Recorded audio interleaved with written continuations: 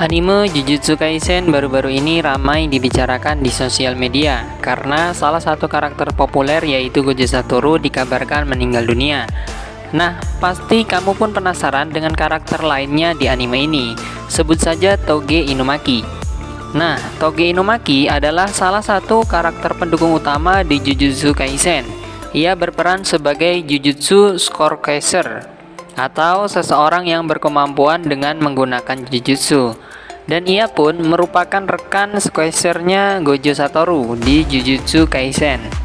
Penampilannya di Jujutsu Kaisen mampu menarik perhatian para penggemar karena ia berambut blonde dengan ice color yang berwarna violet serta beroutfit jaket biru navy. Hal ini menjadi salah satu keunikan visualnya, adapun kepribadiannya sebagai anak introvert alias ia sangat pendiam. Akan tetapi ia cukup mengerikan bagi beberapa orang yang baru pertama kali bertemu dengannya. Pada video kali ini kita tak akan membahas tentang kehidupan Toge, akan tetapi di video kali ini kami akan mengulas sedikit mengenai fakta serta momen penting darinya ketika di Jujutsu Kaisen. Daripada penasaran, mari ke videonya. Toge Inumaki merupakan salah satu karakter utama pendukung dan protagonis utama di anime Jujutsu Kaisen. Ia terlahir dari klan Inumaki yang mewariskan teknik spesial dari keluarganya. Dia lahir pada tanggal 23 Oktober 2001 dan apabila di relief kini sudah berusia 22 tahun. Akan tetapi jika di anime ia masih berusia 17 tahun. Di anime ini ia berperan sebagai siswa kelas 11 di SMA Jujutsu Tokyo dan sebagai Jujutsu Scorcher. Jujutsu Scorcher merupakan seseorang yang berkemampuan untuk menggunakan jujutsu khusus untuk membasmi makhluk kutukan untuk menjaga mereka dari serangan dan ancaman makhluk supranatural.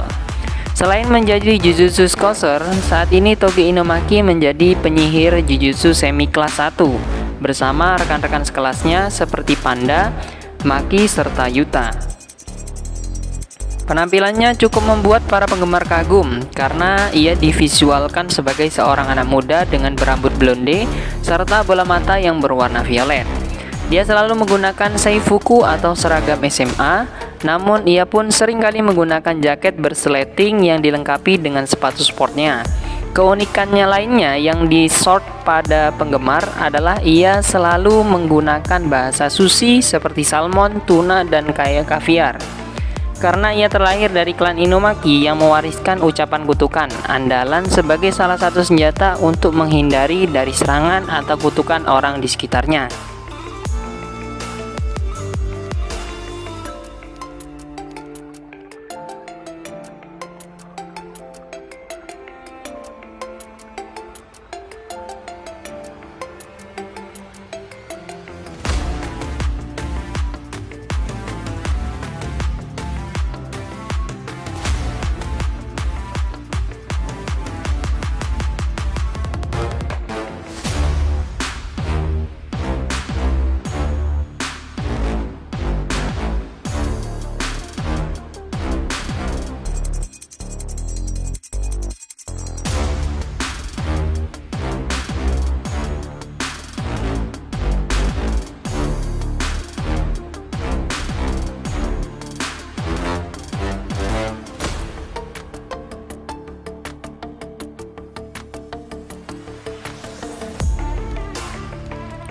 Ia pun diwariskan kekuatan yang baik dari keluarganya untuk dapat bertahan dari serangan orang lain.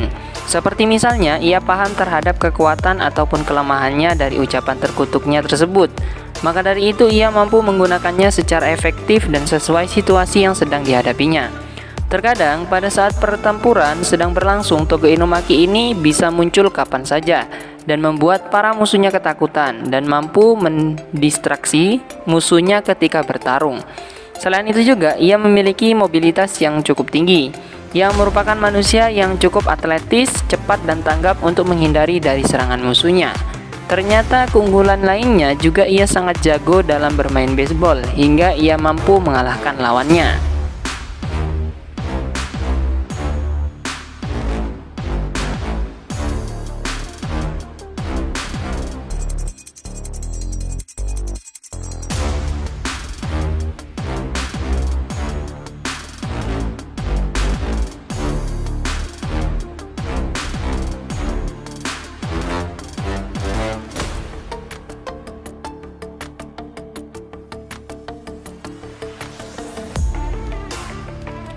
Sempat disebutkan bahwa ketika ia berkomunikasi ia sering menggunakan bahasa sushi yaitu salmon, tuna, dan kaviar.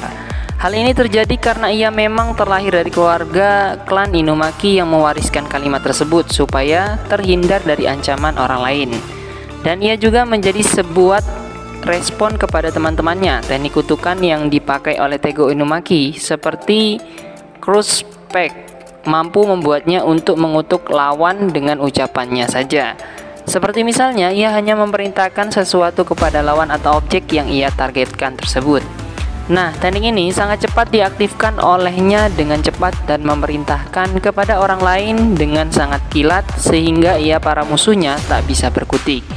Di Jujutsu Kaisen terdapat tiga klan utama yaitu Gojo, Zenin, serta Kano yang ditakuti oleh para penyihir lainnya.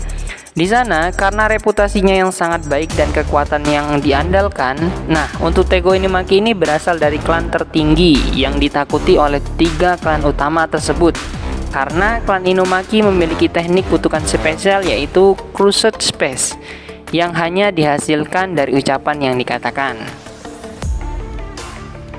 Walaupun Tego Toge Inumaki sering dikenal sebagai karakter yang pendiam, akan tetapi ia sangat peduli kepada rekan-rekannya loh serta ia pun sangat perhatian dan peduli pada orang di sekitarnya. Selain peduli, kepribadian lainnya membuat penggemar menjadi kagum adalah karena kecerdasannya.